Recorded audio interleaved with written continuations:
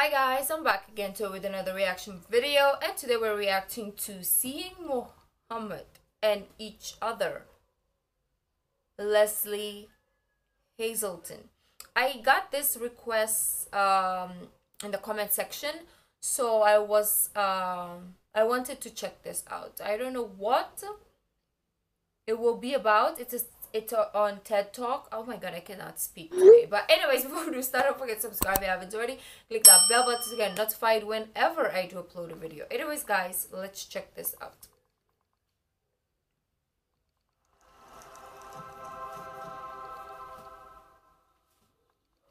It's been a while since I listened to a TED Talk, actually. When you're deeply focused on your work, you forget how it looks to others. Unless, like me, you're an agnostic Jew. Oh. What? Oh, agnostic and Jew? Is that a thing? Agnostic Jew? Or maybe she is from a Jewish background, but she is agnostic now. So is that what you call agnostic Jew? I'm not sure. You're deeply focused on is Islam, hmm. and you've just finished writing a biography of Muhammad. Oh, wow and your audience might be just a little bit nervous. this photo was taken this past summer at the Sheikh Zayed Grand Mosque in Abu Dhabi, and yes, that's me in the middle. Mm-hmm. I never imagined myself in an abaya, but it was required for entrance, so I reminded myself that clothes do not make the woman, and took a deep breath. There was no bolt from the blue, in fact, it felt almost elegant. And since the mosque is very beautiful, I posted the photo online, only to find that some of the reactions were kind of puzzling. There were Muslims saying basically, Yay, you've become a Muslim. And then there were Jews saying basically, Oi, you've become a Muslim. Oi. This seemed a rather large conclusion to draw from a snapshot. So I know, right? It's like people should know that some people require dress codes. You know, like even if you go to temples, you cannot wear shorts, uh, or revealing. How do you call this? Uh, clothing, and so is also a mosque and even church some churches also so people should know by now right evidently invites interpretation and the question is why what were the underlying assumptions here if i were to put this on right now for instance is this an act of honor or is it one of disrespect I feel like. Is it a gesture of sympathy? Or is it merely presumptuous? Or does it make no difference what I say at this moment? Because. For me, I feel like it's a sign of respect. Not this, but it is a sign of respect. Because it's like going to someone's house and if they have a culture or have traditions you have to abide you cannot just go to someone's house and then feel free and do whatever it is that you do usually.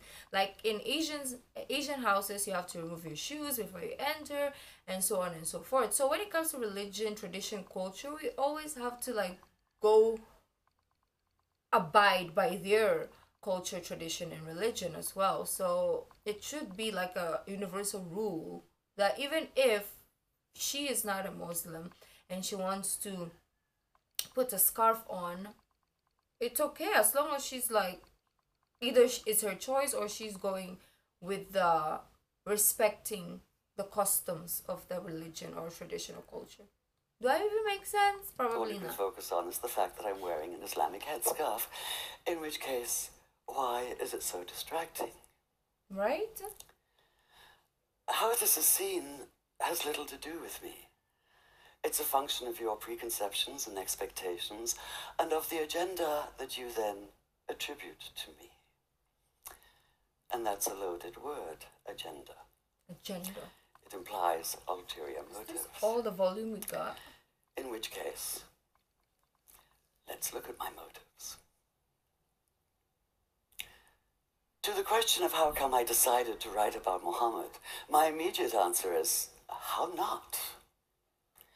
We're talking about one of the most influential figures of all time. A man who radically changed his world and is still changing ours. So, how can so many of us know so little about him? Mm-hmm. How come just the idea of writing about him seems to be fraught with tension? I didn't even know a lot of things. Welcome to my Until- territory. Reaction. The vast and volatile arena in which politics and religion intersect. Consider the renewed atmosphere of distrust and bitterness this past summer, for instance, when a noxious little YouTube video caricaturing Muhammad sparked protests leading to dozens of deaths. Oh my gosh, really? There were any number of agendas involved here, I didn't know this. none of them good. That of the small minded bigots who made the video in the first place. Small minded bigots being a redundant phrase, if ever there was one. Um, of the Salafi That's the thing I, I, I don't understand about people. You can be a Muslim, you can be a Christian, you can be a Jew, you can be whatever. But if you have a close minded, I can never understand people like that. Like I get a lot of rea- um, comments like, "Oh, you're reacting to Islamic thing because you want to be famous." Oh, why are you reacting to Muslim? That's religion is the. the why are you reacting? I am reacting because I want to learn. I want to broaden my mind. I don't want to be an idiot like you sitting on the computer being so naive and ignorant. That is why I'm doing reactions. It's not because I want to be famous. If I wanted to be famous, I'm not going to sit here and watch a video because that's not going to lead you nowhere. So, I like the fact that she is touching base on also ignorant bigots out there. People who create hate uh, messages or videos like she she talked about. And uh, people are just super close-minded. Like come on have a life. Open your mind. That is the purpose of your living is to broaden your mind. Learn from others. Learn from different people culture nationality religion especially finance TV why are you station in Cairo that picked it up and made a big show of it, thus ensuring that while maybe 30 people had seen it before, now millions would. I haven't seen it though. Of the once reputable news magazine, trying to revive its fading readership by implying that all Muslims worldwide were rioting in the streets, as opposed to a few hundred extremists and often just a few dozen. Yeah, it's always like that It's with amazing media. what you can do by cropping a photograph. Mm. There is the leader of Hezbollah, under attack for his support of the Syrian regime's brutal war against his own citizens, trying to redeem himself as a defender of Islam. And the Pakistan Minister of Railroads, trying to hide his corruption and ineptitude by offering a $100,000 bounty. Oh wow. And the usual American Islamophobes, putting up crude us and them posters in the New York and DC subways. So many people jumping on the bandwagon. But where was Muhammad himself in all this?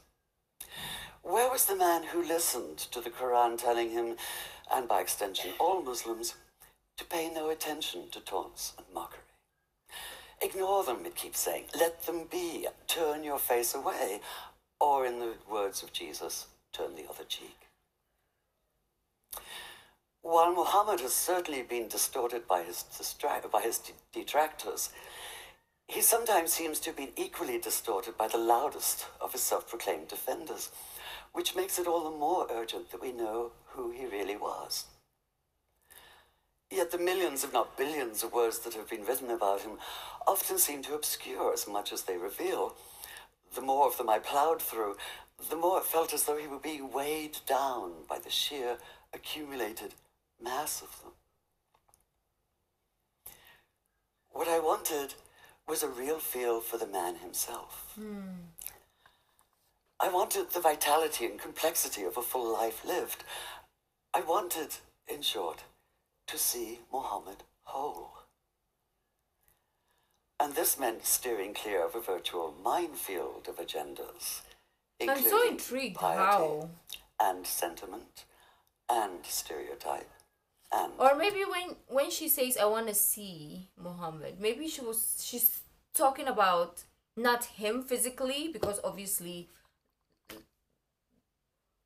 the time the times right maybe when she talks about i want to see muhammad she's talking about his his teachings not really him physically. So that's what i'm getting. Because i'm really eh, baffled like how is she going to see muhammad right? How? But uh, maybe this could be a metaphor for something. Let's see. Judgmentalism. So even as the hundreds of research volumes piled up on my floor, my most valuable research tool may have been this one word reminder pinned beside my desk. Think.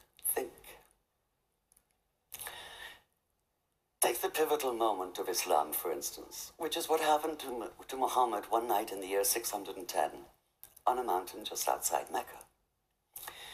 He'd gone up there, it seems, in the hope of perhaps a quiet moment of insight. The last thing he expected was the blinding weight of revelation. So, what struck me in the earliest account we have of that night was not even so much what happened as what did not happen. Hmm. Muhammad did not come floating off the mountain as though walking on air. He did not run down shouting hallelujah and bless the Lord. He did not radiate light and joy. There were no choirs of angels, no music of the spheres, no elation, no ecstasy, no golden aura surrounding him. Not even the whole of the Quran fully revealed, but only five brief verses. oh short, he did none of the things that might make it easy to cry foul, to put down the whole account as an invention, a cover for something as mundane as personal ambition. Quite the opposite. In his own reported words, he was convinced at first that what had happened couldn't have been real. At best, he thought it had to have been a, a, a hallucination, his own mind working against him. At worst, possession, and he'd been seized by an evil jinn, a spirit out to deceive him, even crush the life out of him. In fact, his first instinct was to leap off the highest cliff and escape the terror of what he'd experienced by putting an end to all experience. Whether you believe the words he heard that night came from inside himself or from outside, it seems absolutely clear that Muhammad did experience them, and that he did so with a force that would transform himself, his sense of himself and his world. So that initial panicked disorientation, that sundering of everything familiar, that feeling of being overwhelmed by force larger than anything the mind can comprehend, strikes me as utterly real.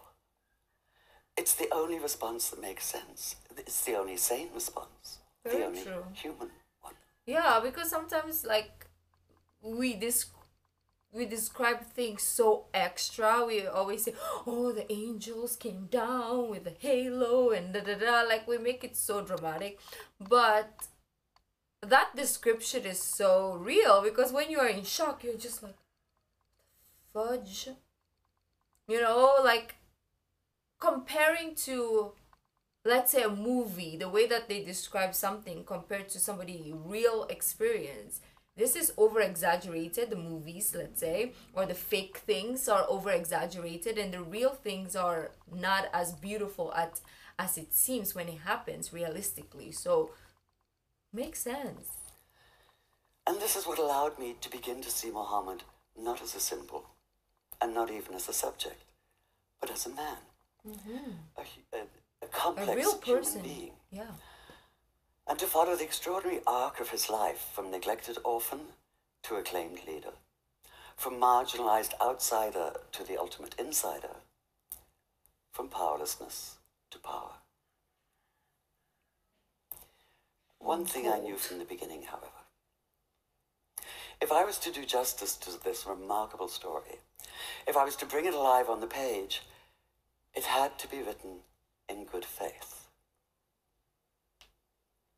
Now, I do realize there may be a certain irony in an agnostic standing here talking about good faith, mm-hmm. but there's been so much bad faith in every sense of the term. And we have to get beyond it. as long as she's an agnostic with good faith that's good like you can be whatever you you want to be but just have that good in you and respect people who are different from you. Because sometimes there's people who are agnostic but then they're hating and they're negative. It's like you're not helping yourself and anyone else.